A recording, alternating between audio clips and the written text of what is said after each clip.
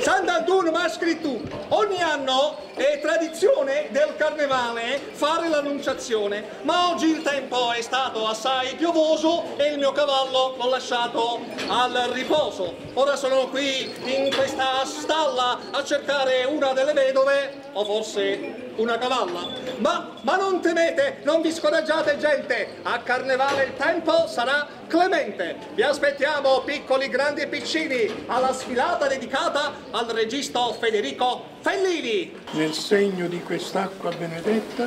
la nostra adesione a Cristo Signore è il fondamento della nostra salvezza.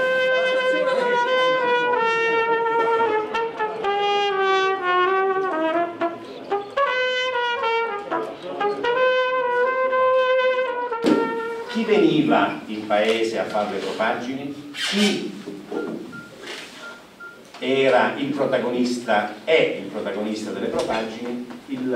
l'uomo di campagna, il massaio che eh, con la sua compagna veniva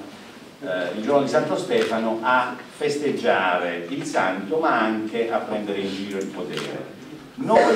stasera abbiamo voluto in un certo qual modo riprendere questa tradizione questo connubio tra campagna e eh, paese e eh, questo connubio tra il carnevale e la campagna e siamo venuti a festeggiare questa giornata particolare. Comunque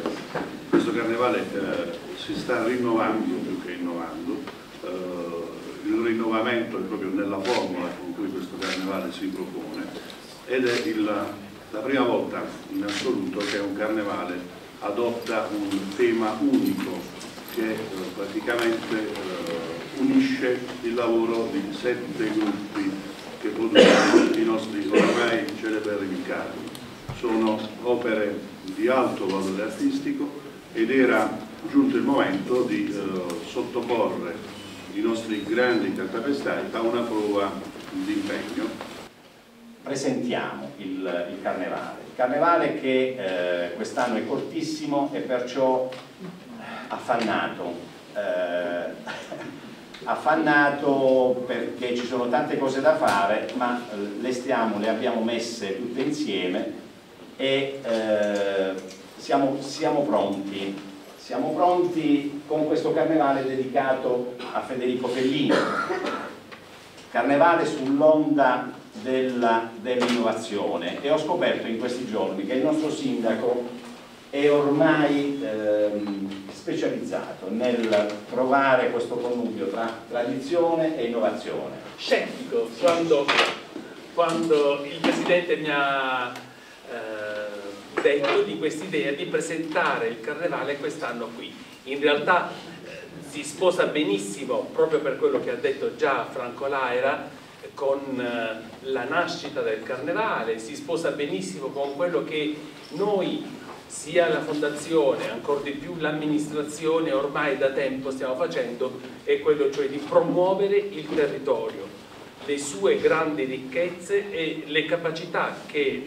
i nostri concittadini hanno magari non sempre ne sono consapevoli, di promuovere i prodotti del nostro stesso territorio. Allora, questo luogo che, come ci è stato anticipato, diventerà un caseificio aziendale